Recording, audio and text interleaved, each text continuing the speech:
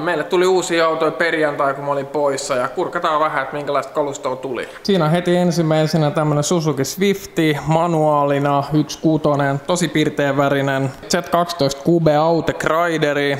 Siinä 180-korinen Toyota Crown Majesta. Siinä 184, eli 3,5 litrainen Crowni. Siinä on alusta nostettu kuljetusta varten korkealle, se tiputetaan tuosta ja tää on tosiaan jo varattu ja toi Suzuki Swifti on jo myyty. Manuaali Altet RS 200, löytyy TRD-kuppipenki. Tää on siisti. Tää on tosiaan myyty jo. Tässä on tämmönen tosi magee GVS 204 hybridi Crowni, 3,5 litranen ja tosi siistin näköinen kokonaisuus. Tää yksilö on kans varattu suoraan laivasta. Tässä kaksi itse tuplaturbotekniikalla, Toyota Aristo. Tääkin on kyllä mageen näköinen laitos. Siinä on sitten Toyota Rumion ja tääkin on niinku Orkiksesta semmonen vähän piristetty versio on aerosarjaa vannet alustaa ja alustasarjasta mä en tiedä onko siellä mahdollisuus joustavaa säädettävää alustaa. Tosi näyttävän näköinen kanssa. Tässä on todennäköisesti tämmönen ylimaalattu tämmöisellä mageella ruskeella ja tää on kans tämmönen helmiäsväri. Z12 Cube, täällä on Datsun teksti alla ja raitaa ja konepeltiin on kans maalattu moinen. Tää on tulossa kans myyntiin. Lisätiedot saa kyllä kysymällä.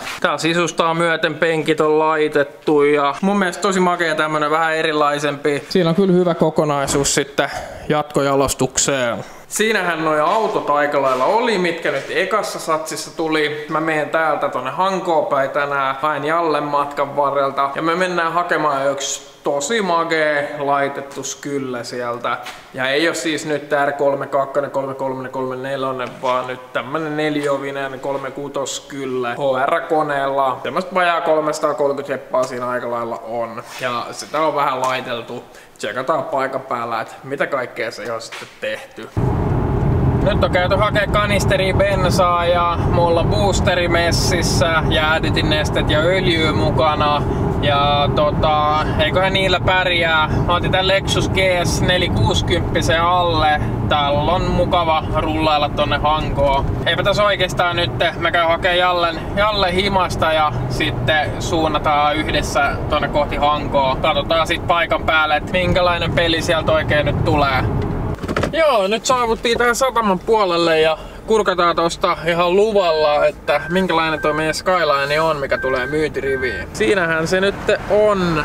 Katsotaan lähemmin tosta, kun mennään pihalle. Joo, eli siinä on niinku japanilaisen pajan rakentama neliovinen Skyline 36 ja tota, törkeen siisti näkönä, hyvin laitettu, tosi mage ihan ulkopuolisesti ja sisältä. Ja tota, ihan kautta alta aika lailla verhoiltu, verhoiltu ja tosi hyvin laitettu. Heittäkäähän mielipidettä, että miltä näyttää teidän silmeen.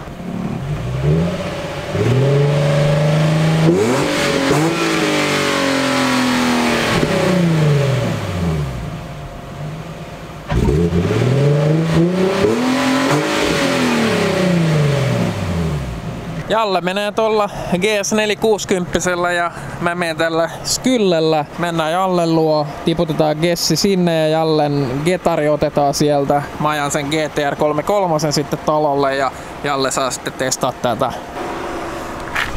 Oi oi oi oi. Käydään etsiä safkapaikka ja tätä käydään safkaa ja käydään sit vaihtelee autoja tässä on niinku oikeesti tosi magee peli jollekin, joka tän nostaa jossain vaiheessa. Tää on niin hyvin tehty. 88 tonnia täällä on ajettu ja laitetaan tosta pienemmälle ja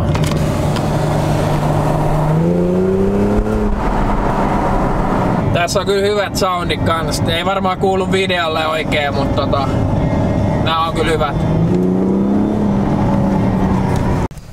Joo, eli saavuttiin nyt vaihtaa autoa, eli GS jätetään tohon ja otetaan R33 GTR alle, eli mä ajan tällä ja sitten Jalle testaa tätä kyllä. Ja mitä me tultiin mutkapätkiä tällä kans tuolla alkuun, niin tosi hyvin tällä niin pystyy vetämään mutkia. Ei ota mihinkään kiinni niin kuin kaartaessa tai töyssyissä. Tosi hyvän tuntunen auto on ihan tollasella kruisailullakin vaikka on silleen suht kentässä, mutta tosi hyvin rakennettu, että se ei nappaa mihinkään. On se vaan ihan helvetin siisti ja helvetin hyvä tuntunut auto. Ja seuraavaksi sitten kokeile GTR ihan eka kertaa. En ole aikaisemmin ajanut. Kiitos.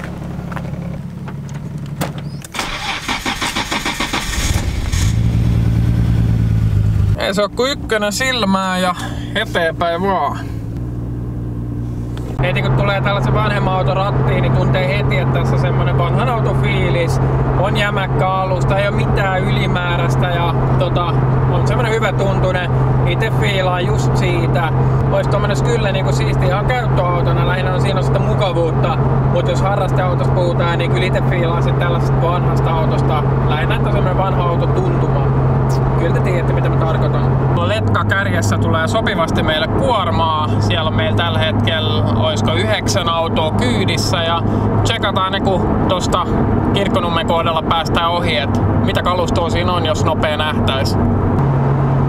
Joo, eli katsotaan nyt, jos nähdään tästä, että mitä kamaa tuossa on kyydissä. Ja näin läheltä vähän huono, mutta tuossa alhaalla toi keltainen on 370 GT Skyline. Sitten on tuossa ylhäällä Z12 Cube, sininen Z12 Cube. Siellä on presidentti, Z11 Cube, toinen Skyline, Leseide on tuolla ylhäällä. Vähän huonosti mitä kyllä näki, kun noin lähellä oli